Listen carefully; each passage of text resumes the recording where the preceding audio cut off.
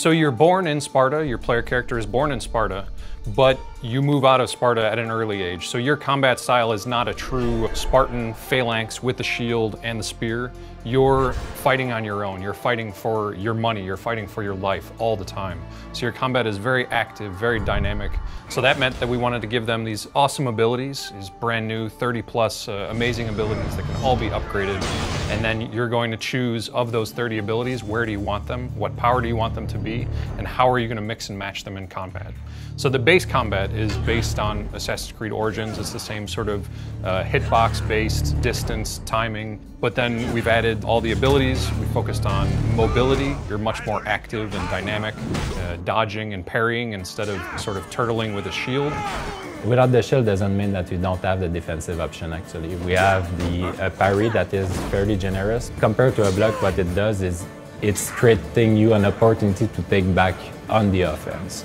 If you want to sneak around, put the hood on, you know, it can hide in the bushes and, you know, lure people in and use uh, some of the abilities that are stealth, you can do that a lot more than we've done since Syndicate.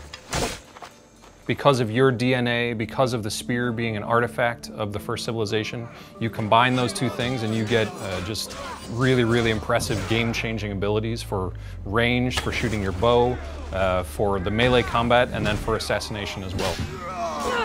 You have to build up adrenaline, energy for the spear to use that and, and unleash these abilities.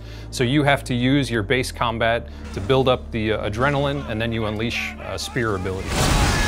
So regardless of how you choose to map the abilities, which weapon you want to wield, you will always have a strong aesthetic that's true for a Greek hero warrior. We have two weapon slots, the bow, you have uh, five gear slots on your character. All of those can be upgraded at the blacksmith to your current level. You're the only character in, in ancient Greece that has a, a, first civilization artifact, but there are mercenaries, there are very strong enemies with the Spartans and the Athenians that you're going to face that will challenge you constantly. And with the RPG progression, you're going to be facing against enemies that have a higher level than you. It's really going to be up to you how you play. Tune in to watch next week's episode, Naval Gameplay. Friday at 2 p.m.